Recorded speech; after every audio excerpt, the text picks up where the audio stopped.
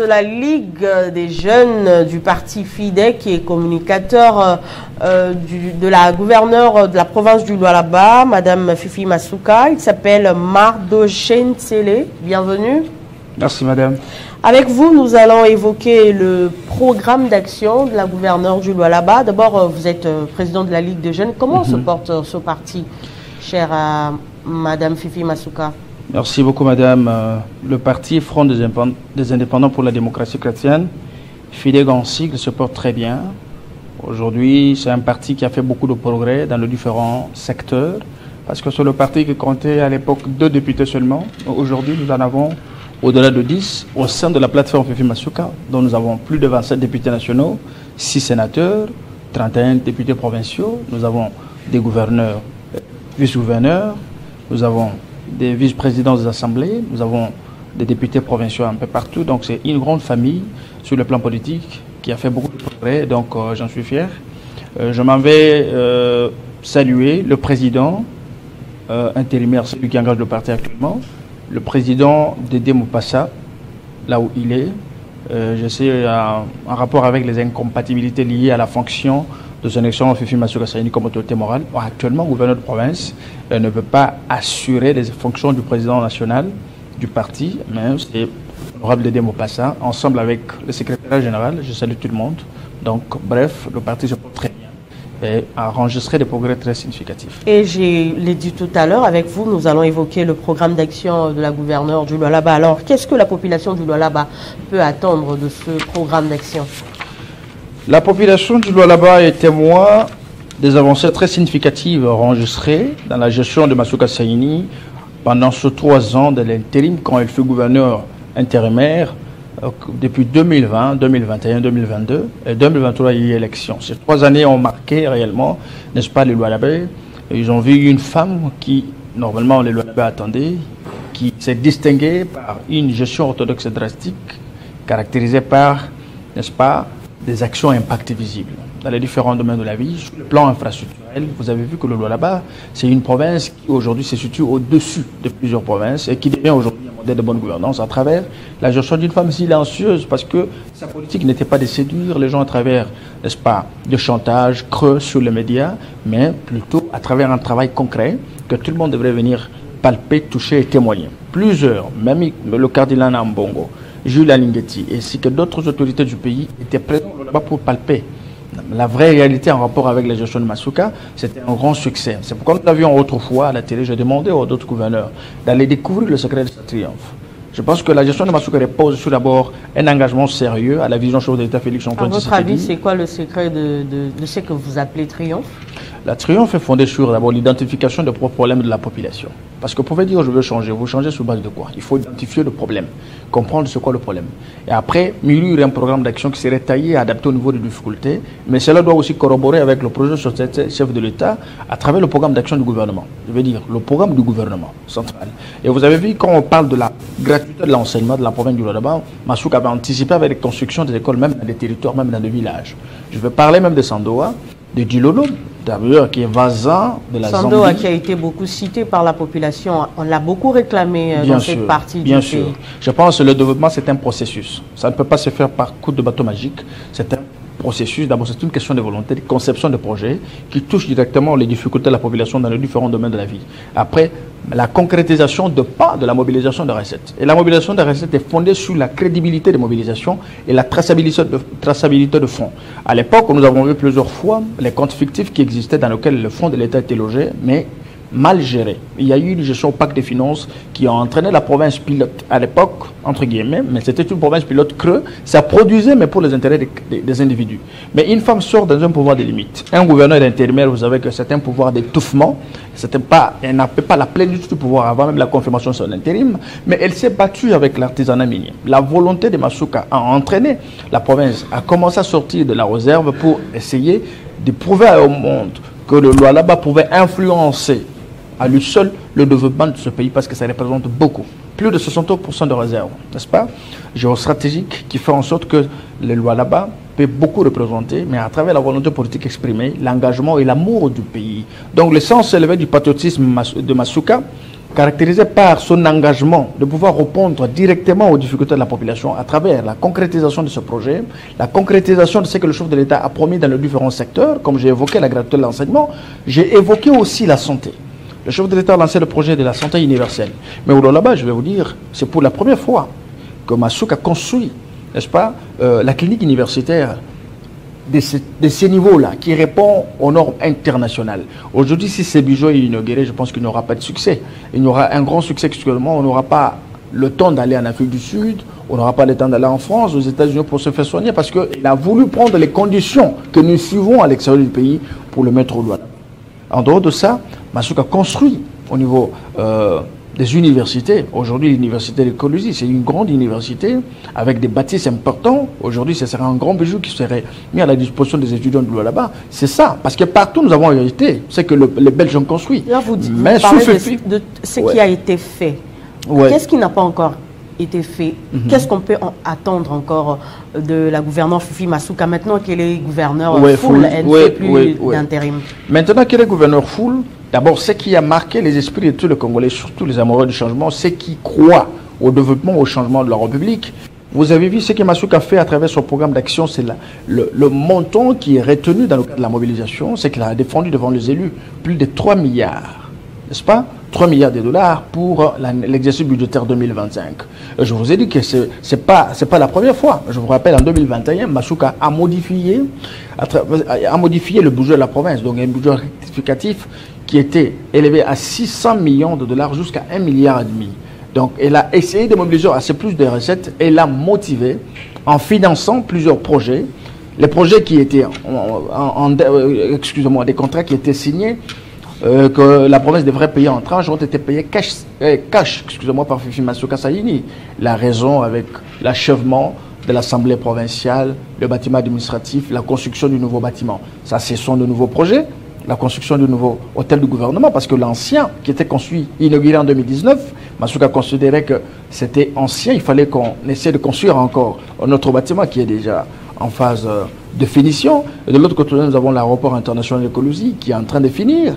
Vous comprenez? Ces histoires, ces projets sont en train de se concrétiser à travers cette volonté manifeste de mobilisation de, recettes, à travers la lutte contre, n'est-ce pas, la corruption qui s'est caractérisée par l'arrestation de plusieurs euh, matière, euh, excusez-moi, des camions qui sortaient illégalement, ainsi que dans d'autres domaines de la vie. On a verrouillé beaucoup de trous qui sortaient le fonds de l'État, les fonds qui allaient dans le pot des individus pour les canaliser dans les codes du Trésor. C'est pourquoi aujourd'hui, la province du se, se distingue dans le domaine de mobilisation de recettes. Mais pour ce nouveau quinquennat, où Masuka est gouverneur Ouais, elle a un programme chiffré à plus de 3 milliards. Pour plusieurs personnes, elle pouvait faire mieux que ça. Mhm. Elle a chiffré euh, son programme à 3 milliards de dollars seulement. C'est réaliste. Qu'en dites-vous mais, non, seulement, mais il n'y a pas. Moi, je n'ai pas vu une province qui a défendu un milliard. Même Kinshasa, même pas le Haut-Katanga. D'autres provinces. Mais le Loi est allé jusqu'à 3 milliards. C'est à féliciter que la elle avait promis un milliard et demi. Elle a mobilisé au-delà d'un milliard. C'est un grand succès. Mais aujourd'hui, elle promet 3 milliards avec des projets gigantesques. L'achèvement de l'échange d'écologie, je sais qu'il y a encore d'autres projets très importants que ça. Mais c'est que le Lolébé devra attendre du, de Fifi Matsuka qui s'inscrit d'abord dans la vision, dans la logique du chef d'État Félix Antoine Tshisekedi. C'est la métamorphose, n'est-ce pas, du Lolaba dans tous les secteurs de la vie. Quand on parle des infrastructures, variées urbaines, euh, qu'est-ce que encore, on voit aussi le changement social de Lualabé. C'est possible parce que nous nous croyons. À l'époque, nous avions chanté que c'était elle qui venait délivrer la province. Elle a accepté la vision du président Blick à bonne escient, c'est-à-dire en pleine connaissance de cause. Le Lualabé aussi attendre encore, voire plus, donc la, la multiplication de ces actions dans le secteur un peu différent parce que c'est pas seulement à Colosie, parce que les gens me posaient des questions. Est-ce que c'est seulement à Colosie qu'on travaille seulement à Colosie. Mais ce n'est pas seulement à Colosie. Dans le qu'est-ce qu'on peut voir? Quand on va, quand on va mhm. dans le loi là-bas profond, qu'est-ce qu'il y a là-bas? Bon, par exemple, la question la plus importante par rapport au loi là-bas profond, c'est d'abord les infrastructures de base, les infrastructures routières, excuse-moi. À l'époque, les cinq territoires qui composent la province du loi là-bas n'étaient pas liés, n'étaient pas reliés. Mais avec Masuka, elle a essayé de faire une route à terre battue qui a essayé de mettre ensemble tous les cinq territoires. C'est déjà un grand succès. Les députés de l'époque, les politiques de l'époque avaient des difficultés d'aller dans leur village respectif. Il fallait utiliser le moyen comme le vélo en plein 21e siècle et surtout 2020-2021 où d'abord on chantait à tort que la province était la province pilote. Aujourd'hui, quelqu'un peut aller jusque dans son village, dans n'importe quel moyen, parce que Masuka a facilité les choses. De deux, on parle de l'accès aux services sociaux de base. Donc, euh, la gratuité de l'enseignement, les enfants qui sont dans des territoires peuvent aussi vivre dans les mêmes conditions que ceux qui sont en Colosie. Il a conçu des écoles. Elle a conçu des écoles dans de très bonnes conditions. Le troisième point, est-ce qu'il y a de l'électricité? Même si on n'a pas la possibilité de mettre tout ce qu'il y a comme condition en termes d'énergie, mais on peut mettre la panneau solaire.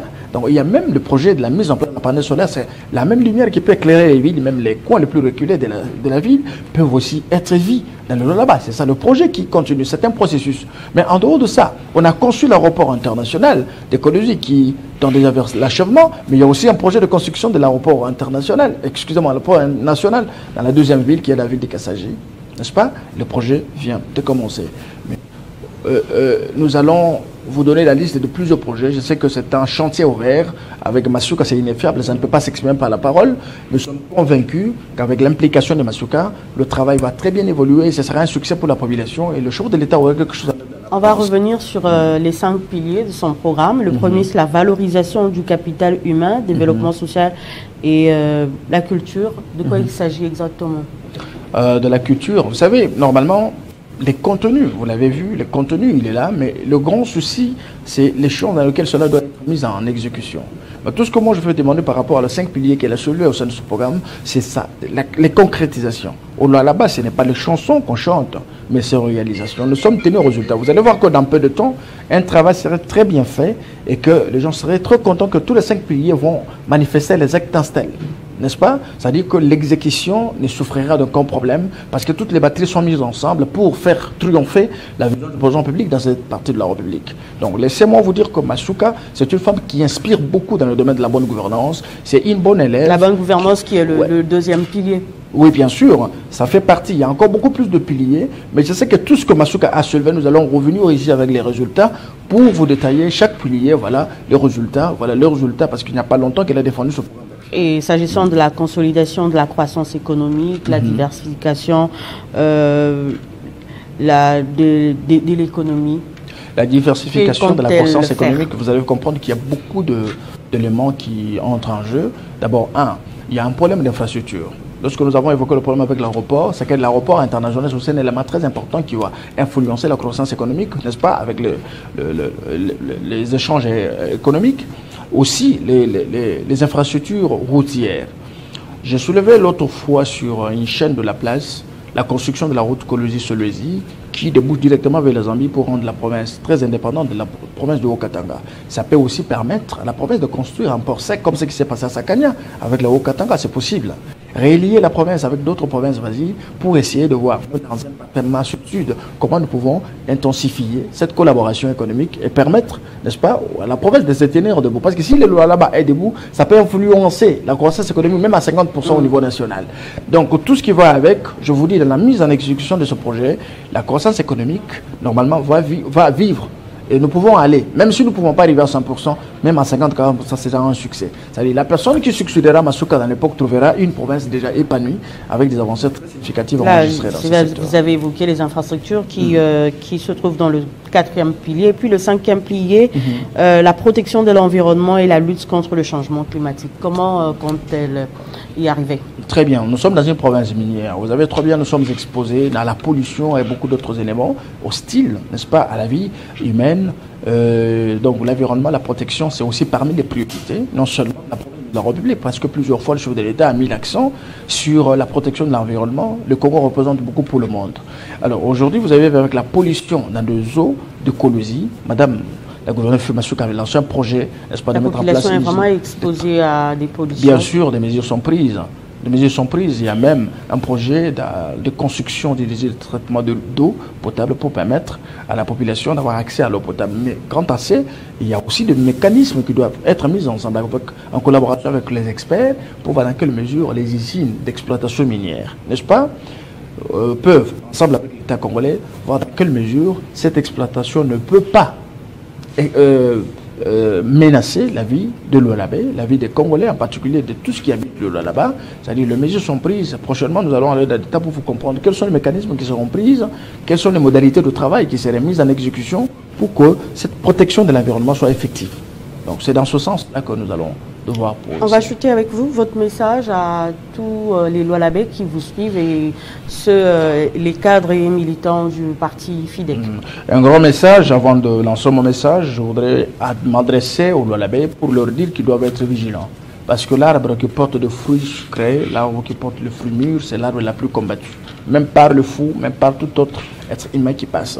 Aujourd'hui, vous avez suivi le passage du ministre d'État, ministre de Justice, Costa Moutaba, avec son initiative de consultation populaire que moi, personnellement, je loue en tant que jeune, parce que ça permet aux plus démunis, aux plus faibles, qui sont victimes des spoliations, n'est-ce pas, de poser le problème au ministre. Mais c'est devenu aussi euh, une occasion pour les mécontents qui ne sont pas d'accord avec ceux qui travaillent bien pour la République. En, en l'occurrence, ce qui s'est passé dans la consultation de Colosie, un groupe d'individus qui se sont réunis pour essayer de mettre dans le chef de quelques individus le parole mensonger, des dossiers montés de toutes pièces pour essayer de jeter diatribe à la personne de Fifi Masuka. Nous avons assisté à des comédies que nous dénonçons. Nous voudrions demander à la population de la continuer à faire confiance à Fifi Masuka et nous, nous ne nous fatiguerons pas. On dit les critiques, ce sont des sanctions. Quand les critiques sont faites de beau sens, et surtout en ce qui concerne la gestion, elles sont prises, n'est-ce pas?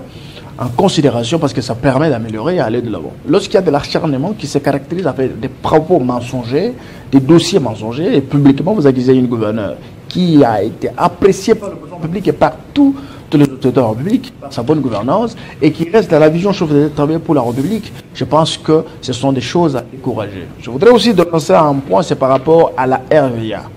Récemment, vous avez suivi que nous construisons, nous voulons avoir l'aéroport international d'écologie, mais les espaces de la RVA ont été spoliés, n'est-ce pas? Je ne vais pas citer des individus, par les prédécesseurs. Aujourd'hui, avec Masuka, nous avons essayé de récupérer ce qui revient à l'État pour permettre à la RVA de répondre aux conditions requises pour que cela soit appelé aéroport international. Et puis, on a construit pas, des orphelinats pour des enfants pour la première fois, des conditions dans lesquelles les enfants vivent actuellement dans des orphelinats c'est voulu et nous félicitons Madame le gouverneur et nous décourageons ceux qui sont jaloux de cette, ce changement parce que l'objectif du pouvoir public c'est la réalisation de l'intérêt général. Nous sommes contents que ce travail évolue. Masuka Demer est encore un modèle de la bonne gouvernance. Et nous, l'appuyons, nous voulons qu'elle continue comme ça parce que ce serait le succès de l'Union sacrée de la nation et que d'autres gouverneurs peuvent aussi emboîter le pas faire pareil, ce sera un succès. Aux militants de mon parti, je salue tous les militaires de partout ne pas vous décourager parce que le combat politique, ce sont des combats de valeurs. Nous ne voulons pas, nous, au nom du Front des indépendants pour la démocratie chrétienne, se comporter comme tout le monde. Nous voulons continuer dans la logique, dans l'idéologie de notre autorité morale, sous l'ombre de la vision du président public Félix Tshisekedi, réitérer notre soutien, notre loyauté, notre constance à Fifi qui aujourd'hui, nous tous, nous sommes des Tshisekedistes, nous œuvrons dans sa vision. Ensemble, nous pouvons faire quelque chose de même c'est ça le peuple d'abord. Mardo Télé, merci d'avoir répondu à notre invitation. Merci beaucoup, madame. On va prendre le troisième invité.